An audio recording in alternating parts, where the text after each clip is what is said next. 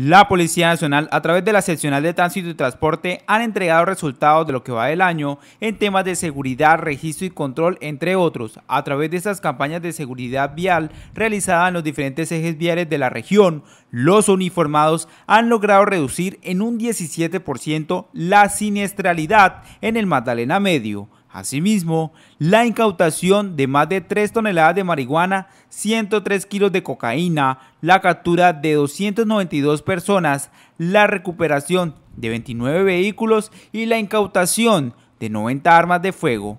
Ante estos resultados, el coronel Gustavo Adolfo Martínez Bustos, comandante del Departamento de Policía del Magdalena Medio, se ha pronunciado a este balance positivo. Estaremos presentes con el objetivo claro de contrarrestar las causas y factores generadores de la accidentalidad vial y delitos que afectan la seguridad ciudadana en las vías, contribuyendo al mantenimiento de la seguridad y convivencia ciudadana.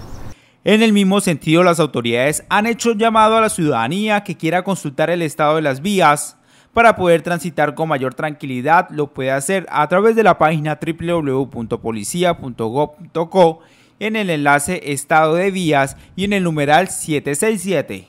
Con antelación sobre el estado de las vías eh, que se va a transitar, esta información puede ser consultada en la página www.policia.gov.co y en los enlaces Estado de Vías y en el numeral 767.